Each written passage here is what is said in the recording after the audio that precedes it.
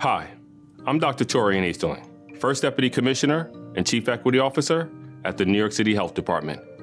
As the father of a one year old child myself, I already got her a flu shot to protect us against the flu. And I encourage other parents to do the same for their children. Doctors recommend that children get a flu shot every year, starting when they are six months old. The flu shot has been shown to be life saving for children, and it reduces the risk of spreading the flu and becoming sick, which can keep children from missing school and parents from having to miss work.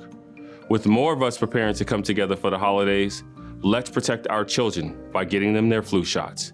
And if your child is eligible to receive a COVID 19 vaccine, they can get both shots at once. For more information or to find the flu shot location, visit nyc.gov slash flu or call 311.